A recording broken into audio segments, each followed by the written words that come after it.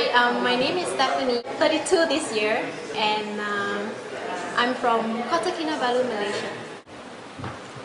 I'm a mother of three grown children, and uh, like any mother, I'm very concerned about their health, and um, I've been actually um, giving them health supplements, but in chewable forms. And my kids are like, I, I think my kids are very, very picky in their nutrition. So whatever I give them, they don't take it. They, in the end, I'm the one ended up consuming all the nutrition. So a friend of mine actually um, recommended me to this product, EXO and um, UMI.